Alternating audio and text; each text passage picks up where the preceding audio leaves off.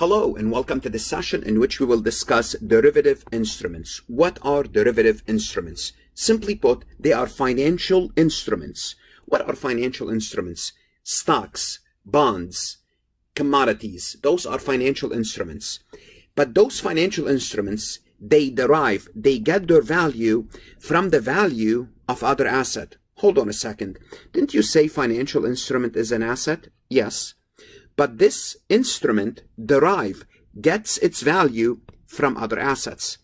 Let me give you a quick example. For example, let's talk about an equity investment, stock.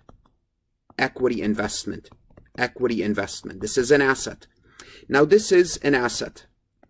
Related to this asset, we could have a derivative instrument. What is a derivative instrument? Let's assume this is the Google stock.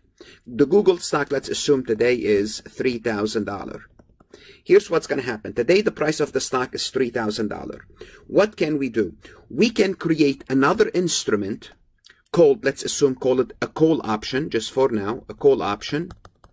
And this is the derivative instrument. And this call option, this asset, this new asset, will derive its value from the price of the stock of Google. How? Let's assume you want to buy Google. You want to buy Google stock, but you don't have enough money today because the stock price is $3,000. And let's assume you want to buy, for the sake of illustration, 100 stocks. If you want to buy 100 stocks, we're looking at $300,000. Well, you don't have $300,000 today. What would you do? Well, what you will do is you will buy another financial instrument that will give you the option, this is called the call option, to buy the stock price of Google maybe at 3050 Hold on a second. Why would I want to buy it in 3050 if I can buy it for 3000 Well, guess what? You're going to have a period of time. You might have, for example, six month period to buy the stock at 3050 So this call option is the new financial instrument that's given you the option to buy the stock price at $3,050 to buy 100 shares. Now you might be saying, okay, but how does this call option derive its value? Here's what's going to happen. Let's assume two weeks later you purchase this option. You paid a certain amount of money. Now you have this option to buy the stock price at 3050 Let's assume you paid for the option for the sake of illustration. You paid $1,000 to someone to give you the option to buy it. Now let's assume two weeks later, Google stock jumped to 3,200. Well, guess what? Since the stock price jumped to 3,200, now your option is worth more. Why?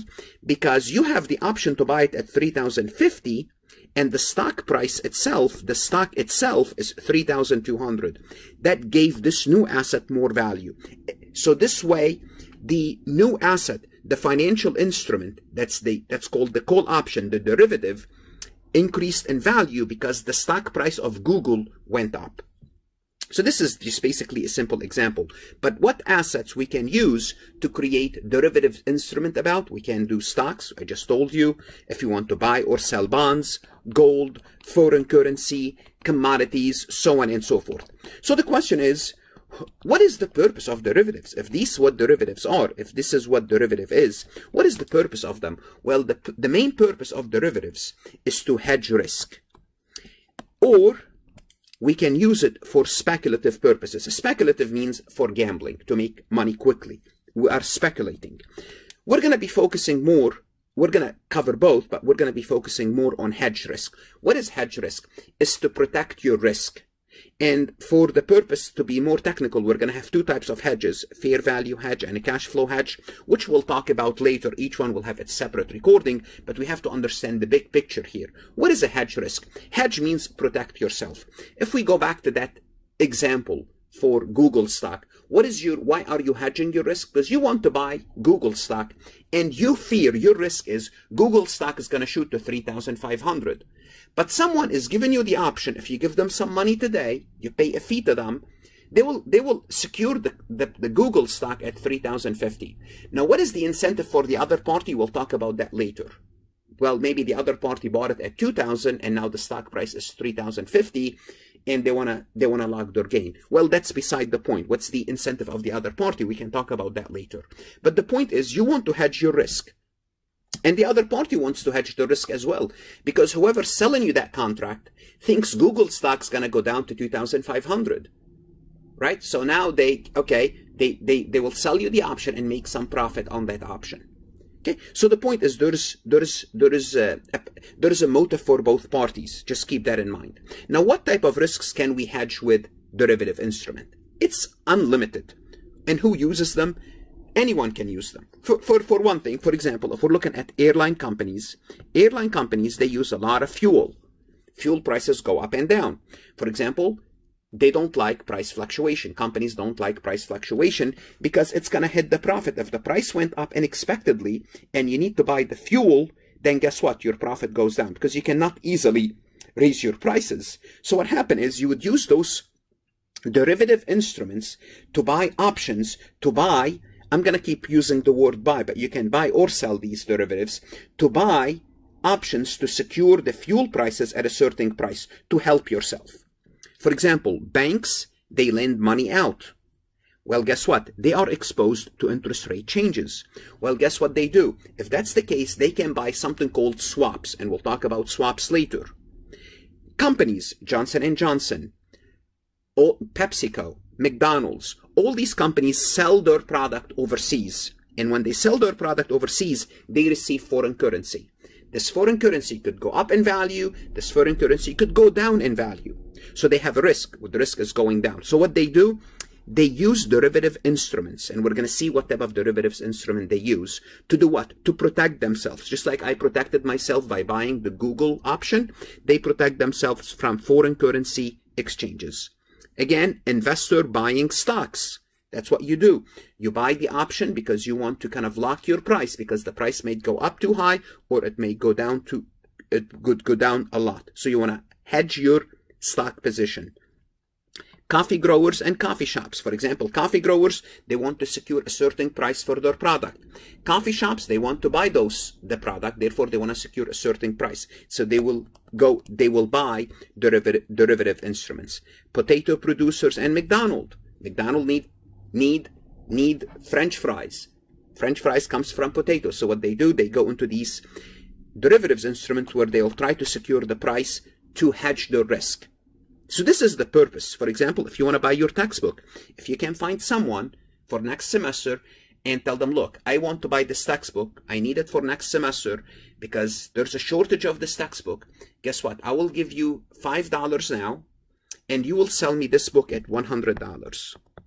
Okay? So basically you paid $5 today and you'll buy for paid for the book for 105. So the total your total cost is 105. Now, why would you do that? Why would you go, why would you buy this derivative instrument, giving $5 to someone, and that someone will secure the book for you? Well, because when the semester starts, you may not be able to find the book unless you pay 150 because there's a shortage. Let's assume that's the case.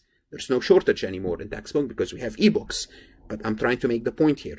Therefore, you will buy this contract to hedge your position, to hedge your risk. So make sure you don't pay more than 105. Now let's let's be a little bit more specific. We have three types of derivatives instrument that we can use to hedge the risk. Before we look at the three types of derivatives instruments, I would like to remind you whether you are an accounting student or a CPA candidate to take a look at my website, farhatlectures.com. Whether you are a CPA candidate or an accounting student, I don't replace your CPA review course nor your accounting course. My motto is saving accounting students and CPA candidate one at a time. How? By providing you resources, lectures, multiple choice, true false, exercises. This is a partial list of all my courses. My CPA resources are aligned with your Becker, Wiley, Roger, and Gleim. Therefore, it's very easy to go back and forth between my material and your CPA review course. In addition to the thousands of multiple choice questions, I give you access to the AICPA previously released questions. Those questions appeared on the CPA exam itself. We're talking about 1,500 previously released AICPA questions with detailed solution. If you are studying for the exam, those will be great for you. If you have not connected with me on LinkedIn, please do so. Take a look at my LinkedIn recommendation. Like this recording. It helped me tremendously. Share it with others. Connect with me on Instagram. I'm trying to grow my my Instagram followers, Facebook, Twitter, and Reddit. Three different types of derivatives are options, future contract, and swaps. And let's talk about each one of them separately. Options. What is an options? Well, we could have two types of options. We can have a call option and we can have a put option. And basically, this is just an introductory just to show you how things work. We're going to look at these a little bit more in details in a separate recording. What is a call option? The call option gives you the right. And here I put not the obligation, and you're going to see why I said not obligation. The right to buy something, for example, number of stocks, and we call the quantity, the, the notional amount, at a particular price and we call the price the underlying amount for a period of time. If we go back to my Google example, remember I bought the option to buy Google, 100 shares of Google at a price of $3,050. Okay, th this was my option. This was, this was, this, if I want to do that, I will buy a call option. I will buy a call option for, to buy those stocks. This is what a call option. What is a put option? The right to sell something, well, 100 shares of stocks, 100 shares of Google at a particular price, 3050. So if you own the stock and your fear is the stock price could go down, Google stock could go down, and you have 100 shares of Google stock, you want to hedge your risk. Remember, it's about hedging. You want to protect your risk. Why? Because you think the stock's going to drop to 2,500. What you do is you buy an option giving you the right to sell the stock at 3050 well why would the other party do that because they think the opposite they think the stock price is going to go up well you think it's going to go up they think it's going to go down you have a deal there. So this is the first type of derivatives that you can use. And don't worry, we're going to have a separate recording for options where we do actual accounting, but this is the big picture. Let's look at type 2 and type 3 of derivatives instrument, future and forward contract. What are future contracts? Starting with future contract. Future contract is an agreement between the seller and the buyer that will require the seller to deliver a particular commodity, oil, gold, cattle, whatever that is, coffee beans. That's what it is. So why, why would somebody go into this contract? Well, let's assume, again, you're an airline company. You want to secure fuel, oil, fuel. What you do is you buy a future contract because the because the airline company, they actually need the actual fuel, the physical fuel. They don't care about making a profit. They're not looking they are not looking to make a quick profit like a speculator or a trader. They're looking for the actual thing because that's how they run their operation. They need fuel. They need oil. Same thing with Starbucks. They need coffee beans. So what they do, they go into this agreement. They buy the, this future contract, usually from a producer that will sell them the product. And future future contract are traded on an organized exchange. They're regulated notably the Chicago Mercantile Exchange. This is an organized exchange, just like the New York Stock Exchange. If the contract involves financial instrument, what does that mean? It means it doesn't involve commodity. Then we call this contract financial future contract. Now those, they can be settled in cash, but the other one, they, you know, when they buy them, they want the product itself. That's the purpose. Now we have a future contract, and notice I have them under the same category. Well, future, for, rather than a future, we can buy a forward contract. It's similar to a future contract, but the agreement is customized between two party. What does that mean, customized? It means they can put any conditions in there. It's not, you know, it's between two parties. It's, it's a contract. It's either you can deliver the product or it's done in cash settlement. So you don't have to deliver the product. You can do it in cash settlement. Those forward contracts are not traded on an exchange. They're traded over the counter. And who, who would do them? Counter. Who would do them? Who would get involved in these forward contract? People that know what they're doing, because usually those are you want maybe you want to trade. But again, why are they called derivatives instrument? Because if the contract is based on the price of gold, well, if the price of gold goes up and down, it will affect this contract. That's why they're called derivatives. They derive their price from something else. And the third type of derivatives instrument is swaps. And you, what is a swap? It's an exchange of cash flow stream between two parties. And we're going to talk about swaps later on. And this is usually used to hedge interest rate risk. Again, I'm not going to get into swaps today because we're going to have a whole session about swaps and how do they work. Actually, I already have the session. You can view it on my channel. But this is the third type of derivatives. At the end of this recording, that's all what I'm going to do today. Just introduce to you the idea, the basic idea of derivatives. Why that's important because when we're going to start to do journal entries and start to do basic accounting next, this is what we're going to be doing next, accounting for derivatives, it's very important to understand the big idea. Why am I doing this? What's the purpose of this? Why do I have a gain? Why do I have a loss? You will understand why. What should you do now? Go to farhatlectures.com and start to work MCQs to learn more, to look at additional resources, to study the material invest in yourself. Don't shortchange yourself. It's very important to understand the topic so you can pass your CPA exam, move on with your career. Good luck, study hard, and of course, stay safe.